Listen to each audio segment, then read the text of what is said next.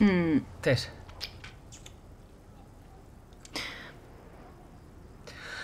Dime, ¿qué tal está? mm, Eh, Tess, me gustaría poder compartirla si vas a acabar.